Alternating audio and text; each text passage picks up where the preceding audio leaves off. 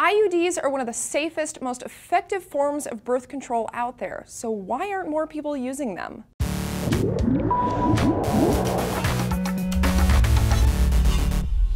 Hey guys, Tara here for DNews, and it's always a fun day when I get to talk about something I truly, firmly believe in. Today, that thing is the IUD. IUD stands for intrauterine device, and it's a birth control method that's been around since the 1960s. It's currently the most popular form of contraception in China and many other countries around the world, but for some reason it hasn't really caught on here in America. That may soon change though, as the American Academy of Pediatrics just labeled the IUD and other implant contraceptives the number one choice for contraceptive use in teens. So what makes the IUD so great? And why is almost nobody using them in the Western world? Well, let's start with the basics. Here in the US, there are two different kinds of IUDs. There's the copper and then there's the hormonal. Both of them look like little T-shaped devices that basically get inserted into your uterus.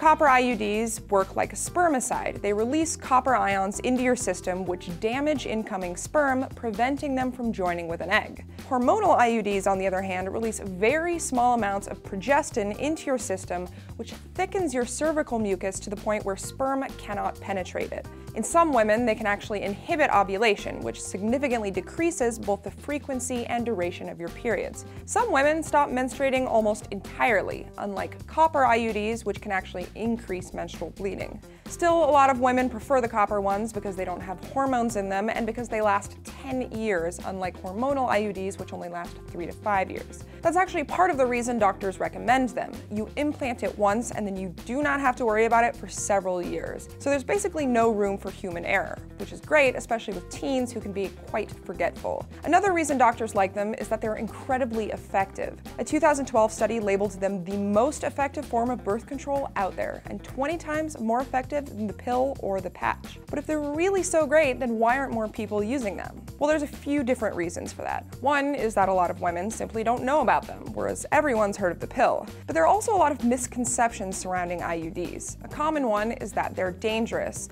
and that stems from a particular brand in the 1970s called the Dalkon Shield that ended up being recalled after it was linked to a number of deaths from septic miscarriages. Turns out those were due to a faulty design, and today's devices have never been linked to anything like that. That said, there is evidence that women with IUDs who contract STDs, and in particular chlamydia, are at increased risk for pelvic inflammatory disease, which can lead to infertility. That's why all doctors are required to order thorough STD screenings before using them, and many won't even consider giving IUDs to women who aren't in monogamous relationships. Some doctors also don't want to give them to women who haven't had children because they're afraid of being sued by women who mistakenly believe their infertility was caused by an IUD when in fact they were infertile all along. So even though studies show that the risk of an IUD causing infertility is almost non-existent, some doctors just prefer to play it safe. Still, it's kind of tough to argue with something that A, lasts several years, B, saves you thousands of dollars in the long run, C, is more effective than any other birth control out there, and D, is virtually worry-free. At the risk of giving too much information here, all I will say is that I have one and I will never,